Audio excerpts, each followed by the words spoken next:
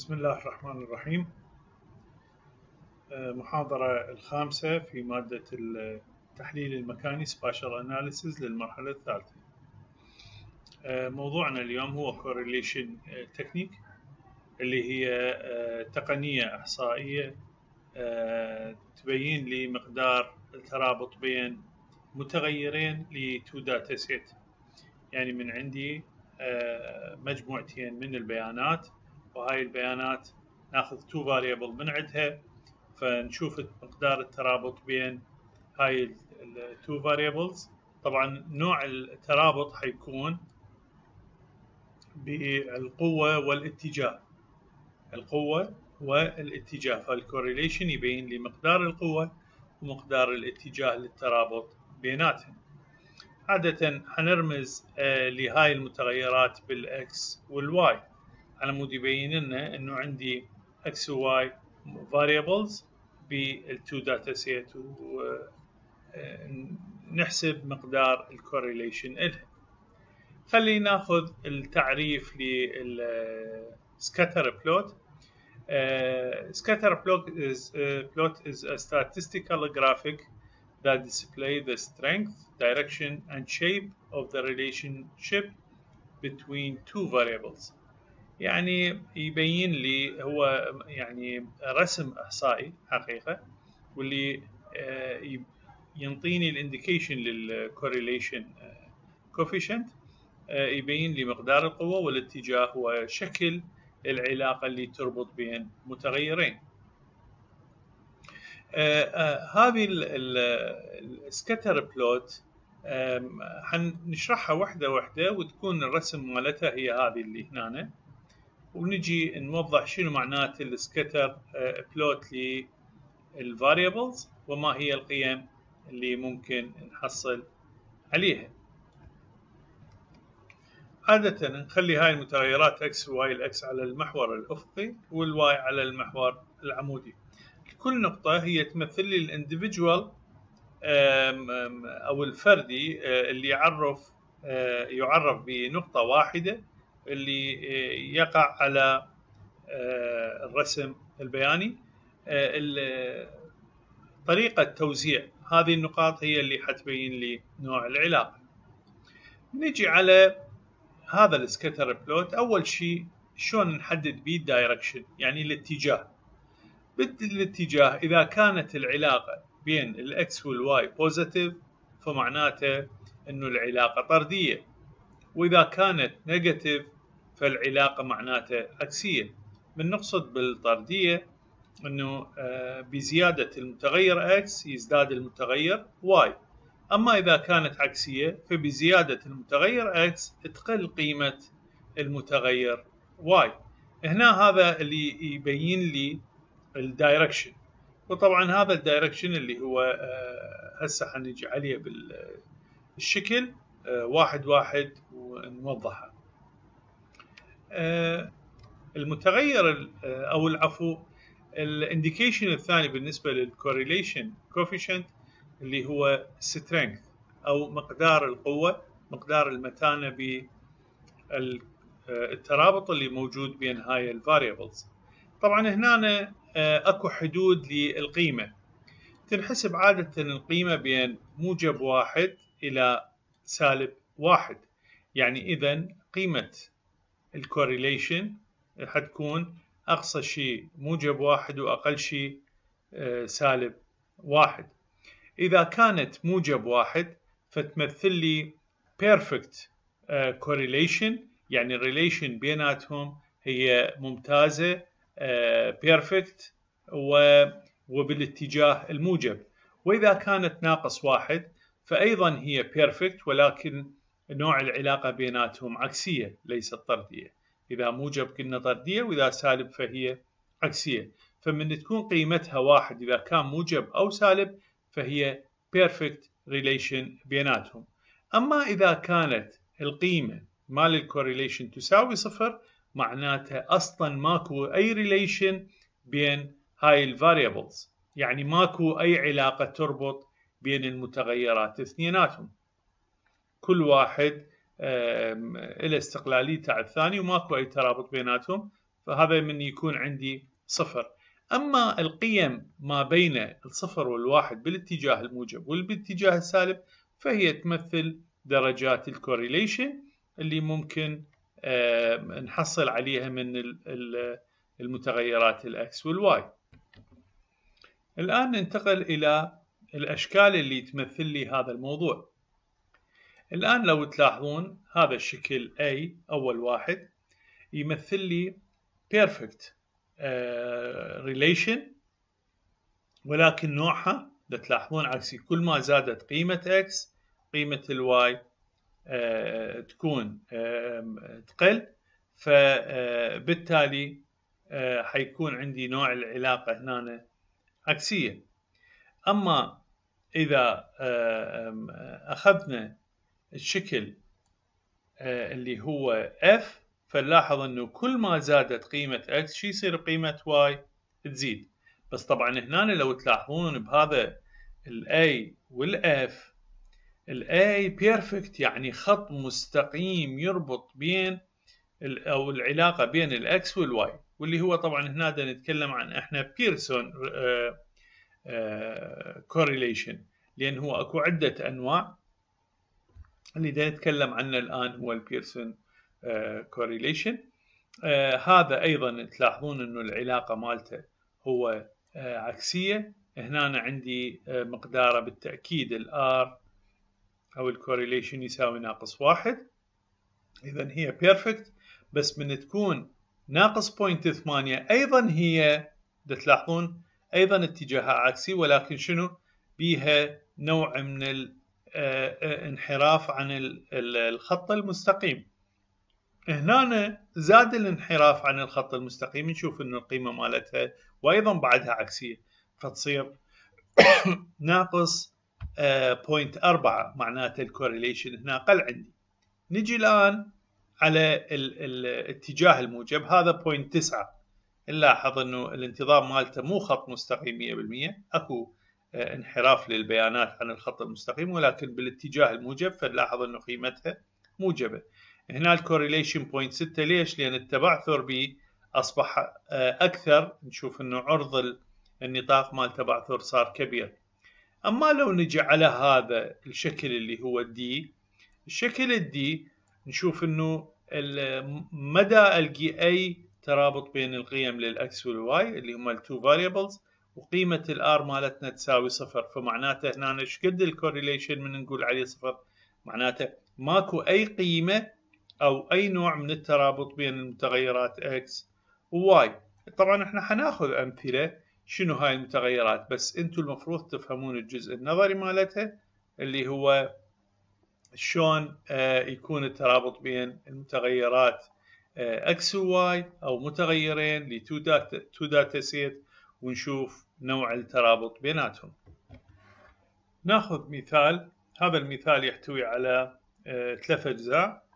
المتغيرات اللي حناخذها عندي سيارة أو يعني يعني عربة متنقلة.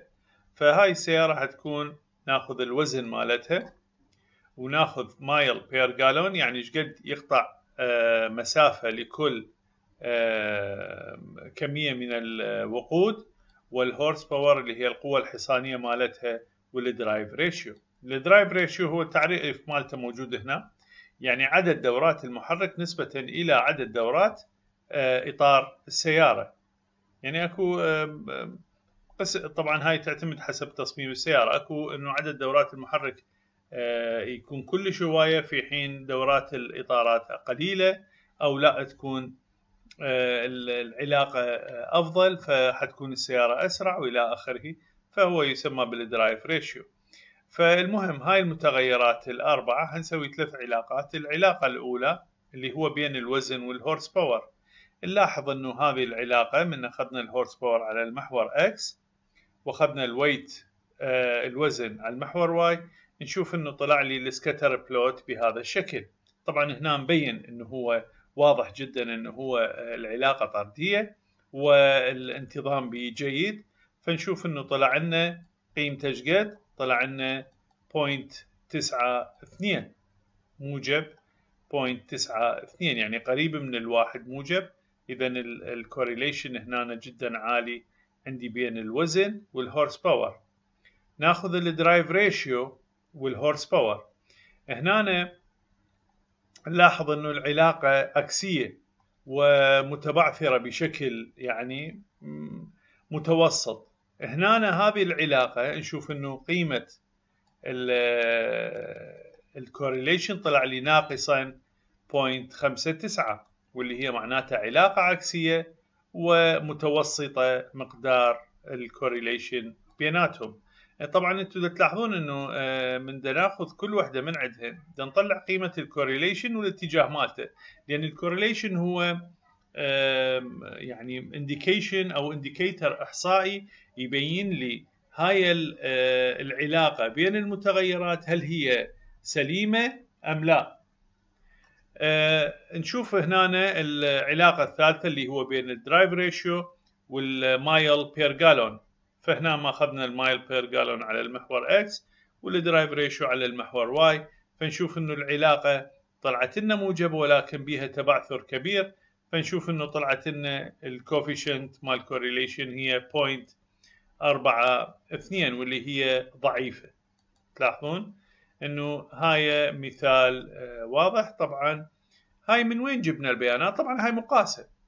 على فكرة هاي البيانات مقاسة.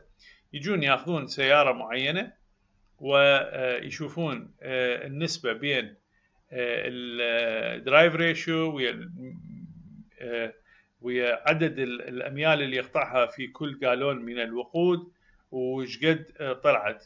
هنا آه، هذا ال correlation تقولون ليش إحنا قاعد نسوي؟ هذا ينطيني إمكانية إنه أسوي prediction أسوي تخمين. يعني أنا أعرف إنه العلاقة موجبة بيناتهم. فمن تكون العلاقة موجبة فإذا معناته إنه أني من أزيد ال drive ratio حزيد الأميال لكل جالون وبالتالي حيكون عندي آه، نوع السيارة تصرف وقود أقل وتقطع نفس المسافة. يعني كثير من التطبيقات يعني كل وحدة إذا تفكرون بها تلقون التطبيقات مالتها جدا كثيرة. طبعا بدنا نتكلم إحنا عن نوع ال correlation بهاي الحالات إحنا أخذناه بالبداية ك straight يعني خط مستقيم إنه العلاقة اللي تربط بين ونسبة الانحراف عن الخط المستقيم. هل هي فقط هاي موجودة الطرق؟ لا. أكو طرق ثانية واللي هي تكون curvilinear آه، واللي هي معناتها منحنية. هذه ما تنطبق عليها ال Pearson correlation Pearson correlation معناتها نقصد بها ال correlation اللي خاص بمن بالخط المستقيم أو نوعه هو خط مستقيم. أما إذا كان منحني فنستخدم طرق أخرى. لاحظ هنا متغيرين اللي هو mile per gallon ويا ال engine displacement هذا طبعا ماخذيه لسيارات بامريكا هاي الدراسة. فنشوف إنه هذه البيانات اللي موجودة أكو ترابط بيناتهن. ولكن على شكل شنو؟ عكسي ونوعه شنو؟ وليس خط مستقيم وإنه منحني. هذا هنا بيرسون ما يشتغل عليه.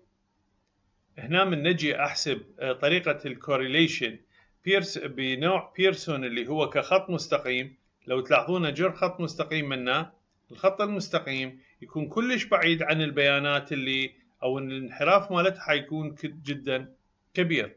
فلذلك هذه طريقة أخرى آه واللي هي تسمى curvilinear آه correlation coefficient. طبعا إحنا ليش بدنا ندرس ال correlation آه، يعني آه لماذا يتم دراسة ال correlation أو حساب ال correlation ينطيني آه لأربع متغيرات. ال prediction يعني ممكن أني أسوي prediction للبيانات مالتي. Validity reliability و verification. يعني إنه أنا ممكن أسوي estimation للبيانات أو أتوقع شنو النتائج اللي أحصل عليها آه، صلاحية هاي البيانات ال validity وال reliability وال verification فنجي مثلا على ال prediction طبعا هنا بال prediction إحنا آه، من يكون عندي آه، حسبنا ال correlation بين two variables فمثلا على سبيل المثال خلي ناخذ درجات السعي ودرجة الامتحان. عادة تكون مترابطة. الطالب الشاطر السعي مالته يكون عالي. ونشوف بال final أيضا يجيب عالي. طبعا هل إنه هو 100% متطابق؟ هذا يعتمد إنه إذا كان perfect آه، correlation أو لا. وهذا آه، قلنا عليه إذا واحد طلع موجب أو سالب واحد فهو perfect وإذا كان آه، قيمته أقل من الواحد فهي تكون أقل. مقدار القوة مال الترابط هي قيمتها أقل. فهنا مثلا أني أقدر أتوقع لين أني مسوي الدراسة مالتي بين درجات السعي وال final فطلع لي مقدار من أو نوع من ال correlation ومقدار مالته واتجاهه. فاني أقدر من أشوف درجات طلاب بالسعي أعرف النتائج اللي راح تجي بال final هذا يسمى prediction أو توقع أو estimation للنتائج اللي تحصل عليها. ال validity هنا مثلا تريد تسوي IQ test شلون آه، تجي تشوف ال validity مالتها. ال validity إنه تقارن النتائج اللي أنت حصلت عليها ويا دراسة سابقة مال IQ test اللي هو آه، أنتم تعرفون أكو امتحانات الذكاء للطلاب خصوصا اللي يسووها الطلاب المتميزين والموهوبين وغيرها.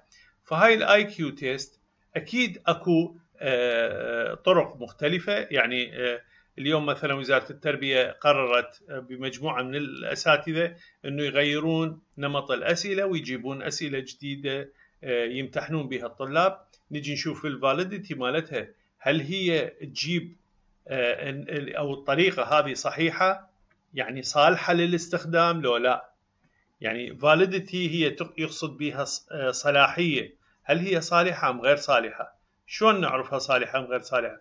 نجي نقارن النتائج اللي حصلنا عليها لمجموعة من الطلبة ويا امتحان ثاني نسوي لهم إياه ويا واحد standard أكو IQ test standard عالمي أو موجود مطبق في أكثر من آه، آه، جهة ومعترف به وكان على شكل standard فإذا كانت النتائج اللي حصلنا عليها على سبيل المثال درجة هذا الطالب هو الأول المفروض يطلع لي بالامتحان اللي إحنا مقترحيه أيضا يطلع الأول.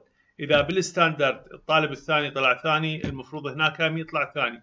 وطبعا مقدار ال fluctuation أو مقدار التغاير بالقيمة بالبيانات حيكون آه، يعتمد حسب مقدار آه، قوة ال correlation بيناتهم.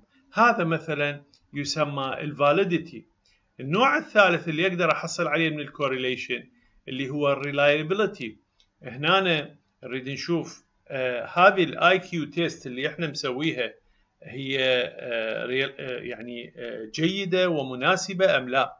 إيش نقصد هنا مناسبة أم لا؟